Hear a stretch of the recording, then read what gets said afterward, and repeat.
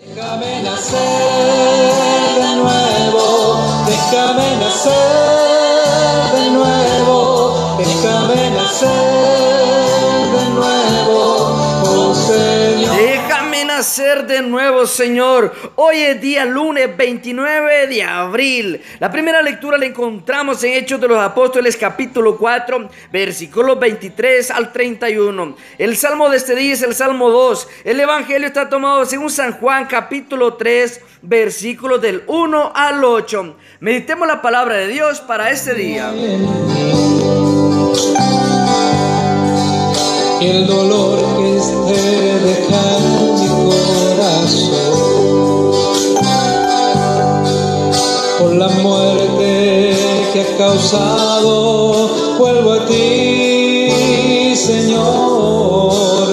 Dame vida nueva Así es, dame vida nueva. En la primera lectura de los Hechos de los Apóstoles, Pedro y Juan nos motivan a no tener miedo de hablar de Jesús, del resucitado de Nazaret, el que sana, el que transforma, el que libera. No tengas miedo, mi querido hermano, de anunciar la palabra de Dios a las familias, a nuestros amigos, a las autoridades de la ley, a los sumos sacerdotes. No tuvieron miedo estos apóstoles. ¿Por qué? Porque estaban llenos del Espíritu Santo y ellos llegan contando todo lo que les sucedió a sus compañeros llenos de alegría. El anuncio de la resurrección no es de miedo, no es de tristeza, sino es de alegría. Muchas veces en nuestra vida tenemos miedo a hablar de Jesús a las autoridades, a quizás en la universidad, a nuestros maestros, a nuestros jefes, porque no queremos quedar mal con ellos, callamos,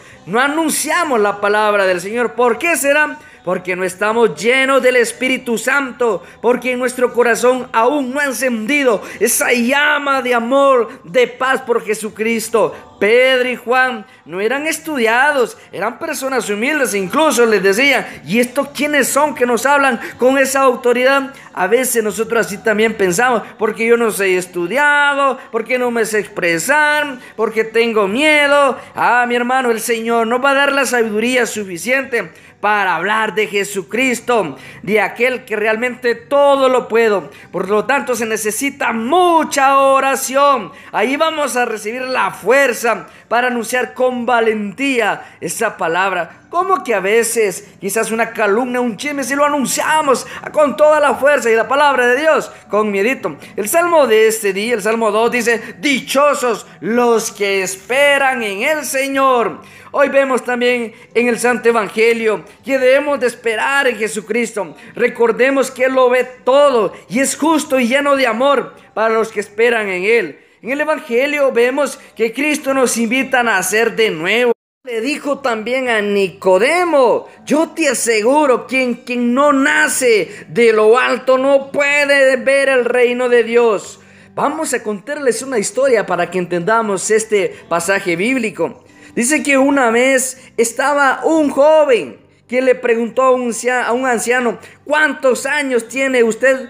Le preguntó aquel joven a este abuelito y el anciano le respondió, tengo ocho años. Y el joven asustado le dijo, ¿cómo es posible si usted está todo anciano?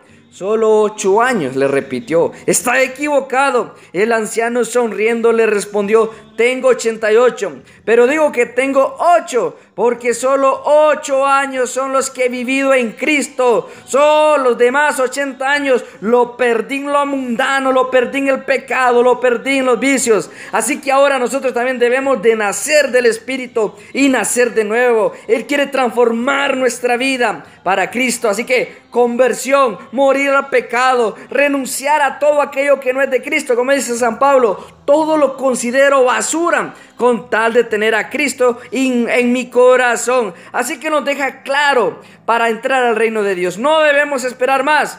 Corre a nacer de nuevo. Cristo nos invita a nacer. No dejemos que nos pase la historia del anciano, 88 años perdido en el mundo. Dile a Jesucristo, ven a mi, a mi vida, te entrego mi corazón, te entrego mi familia, límpiame, purifícame y hazme de nuevo. Y que el Señor le bendiga en el nombre del Padre, del Hijo y del Espíritu Santo. Amén. Bendiciones para todos.